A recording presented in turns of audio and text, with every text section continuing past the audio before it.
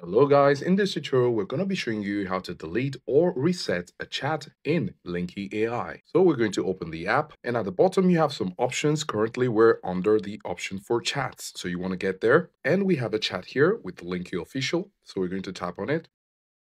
The message. So first we're going to make some messages. Let's say we want to delete. And so if we want to delete this chat, all we need to do is to go to the bottom right corner where we have the plus icon Tap on it, and then we have the option to clear chat. We're going to tap on it, and here you have the question, are you sure you want to delete the chat history? And then it asks you to confirm this, so you can simply go and click on confirm, and you can see the chat is cleared. Now, after this conversation is deleted, you can go back, and if you want to delete this chat, all you need to do is to slide to the left. And when we slide to the left, we have the option to pin it or delete it with the dustbin icon. We're going to tap on the delete, and there we have it. This chat has been deleted.